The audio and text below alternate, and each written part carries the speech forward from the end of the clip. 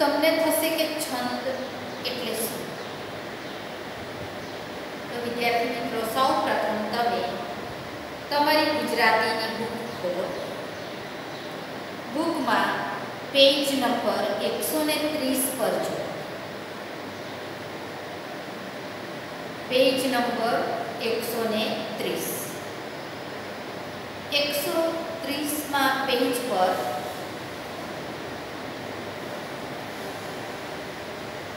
છંદ આપેલા જ છે.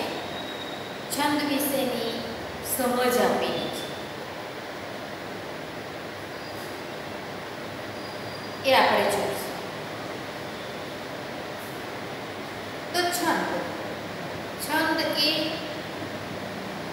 એનો એક લાક્ષણિક અર્થ પણ આપેલો છે. આવર્ત છંદનો એક લાક્ષણિક અર્થ આપેલો છે આવર્ત તમને થશે આવર્તન એટલે શું તો આવર્તન એટલે વર્તુળાકારી ફર્યા કરો ગોળ ગોળ ફર્યા એક ધરી એને આવર્તન છંદમાં પણ એવું કસાકનું આવર્તન શેનું આવર્તન તો શબ્દનું કે માત્રાનું હવે અત્યારે તો તમને માત્રા એટલે શું? એ પણ ખબર નહીં પડશે, પણ જેમ આપણે આગળ ભણતા જઈશું તેમ તેમ અક્ષર અને માત્રા એ બેની હું તમને સમજ આપી. તો વિદ્યાર્થી મિત્રો, બુકમાંથી હું તમને ભણાવવાની છું. એટલે તમે બુકમાં ધ્યાન આપજો. બુક તમારી સામે ખુલ્લી રાખજો.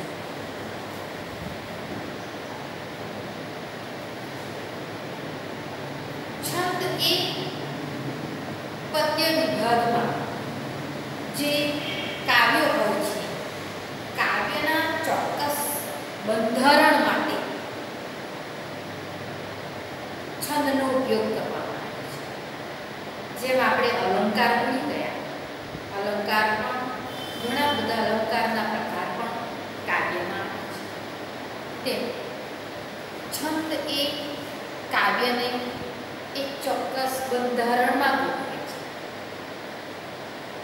અક્ષરની સંખ્યા, માત્રાની સંખ્યા ને ધ્યાનમાં રાખીને કવિઓ કાવ્યની રચના કરે છે. એટલે છંદોબદ્ધ કાવ્ય અને એ છંદોબદ્ધ કાવ્ય દ્વારા એક સરસ એનો રાગ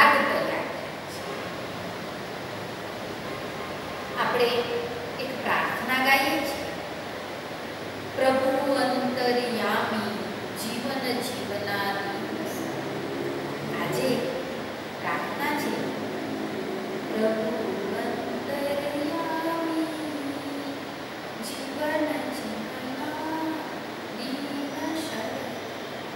આ પણ છંદનો જ રાગ છે છંદને યાદ રાખવા માટે કવિએ કવિઓએ એનો રાગ પણ તૈયાર કર્યો છે એ રાગ તમે યાદ રાખો એટલે પણ તમે છંદ યાદ રાખી શકો એમ તો છંદને યાદ રાખવા માટે આપણે એની અક્ષર સંખ્યા માત્રાની સંખ્યા એનું ગણ બંધારણ યતિસ્થાન એ બધું જ આવે છે.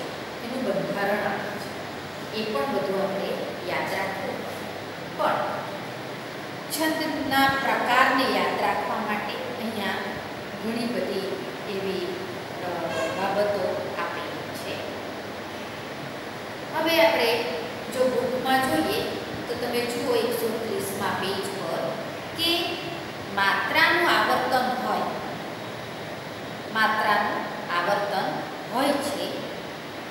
રઘુગુરુની માત્રાના આવર્તન જુદી જુદી લયઘાત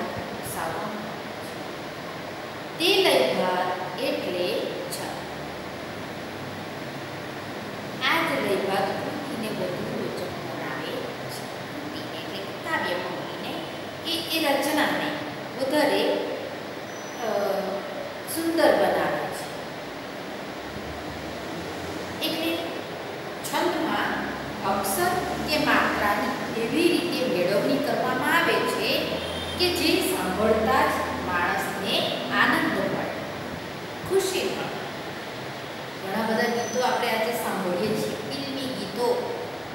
બધા જાત અને એના રાગ સાંભળીને આપણે ખુશ થઈ જઈએ છીએ. મન નાચી ઉઠે છે. તેવી રીતે ગુજરાતીમાં કાવ્યને પણ વધારે સુંદર બનાવવા માટે કાવ્યના રાગને સાંભળીને આનંદ મેળવવા માટે કવિઓએ છંદની રચના આમ તો છંદના મુખ્ય ચાર પ્રકાર છે. કયા કયા ચાર? તો વૈદિક છંદ અક્ષરમેળ છંદ માત્રામેળ છંદ અને સંખ્યામેળ છંદ એમ ચાર છંદ છે. પણ વૈદિક છંદ અને સંખ્યામેળ છંદને અક્ષરમેળ છંદમાં જ સમાવી લેવામાં એટલે આપણે છંદના મુખ્ય બે જ પ્રકાર ગણવામાં આવે છે. અને એ બે પ્રકાર છે. અક્ષરમેળ છંદ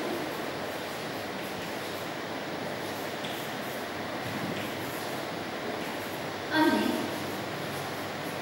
બીજો છે માત્રામેળ આ બે જ પ્રકાર આપણે ભણવાના છે